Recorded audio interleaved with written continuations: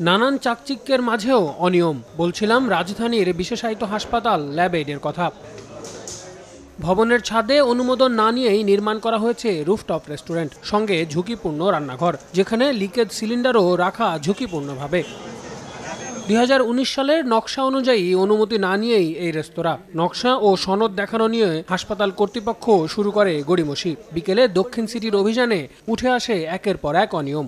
Top ফ্লোরে তারা একটা হচ্ছে রুপটপ রেস্টুরেন্ট করেছে এবং একটা সিলিন্ডার গ্যাস লিকেজ ছিল এবং এই কারণে এই বত্তায় ঘটনার কারণে আমরা ল্যাব এইডকে দুই লক্ষ টাকা জরিমানা করেছি। ফায়ার সার্ভিস কর্মকর্তারা জানান ফায়ার সেফটি প্ল্যান অনুযায়ী ভবন নির্মাণের ছয় মাস পর কার্যকারিতা সনদ নেবার কথা থাকলেও ছিল না তেমন কোনো সনদ। একটা অকুপেন্সি অর্থাৎ কার্যকারিতা সনদ নিতে হয় কিন্তু ওনারা সেটা নেয় নাই। ওনারা এটা অ্যাপ্রুভাল ছাড়াই এখানে রুপটপের মধ্যে স্থাপনা করেছে এবং এটা এজন্যই দেওয়া হয় না যে কোনো সময় অগ্নি দুর্ঘটনা ঘটলে কিছু মানুষ যাতে অন্তত রুপটপে এসে সে নিজেকে সেভ করতে পারে। এক মিনিটে নগদ ইসলামিক অ্যাকাউন্ট খুলতে ডায়াল করুন। চার one six seven hash.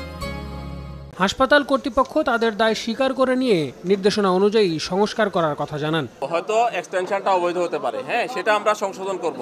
Exit কিন্তু আমাদের আছে। আমাদের যতটুকু আছে যদি আরও কিছু করার থাকে ডেফিনেটলি উইল ডু যদিও হাসপাতাল বিবেচনায় কিছুটা শিথিল ছিলেন আদালত। মানবিক বিষয়টা আমাদের।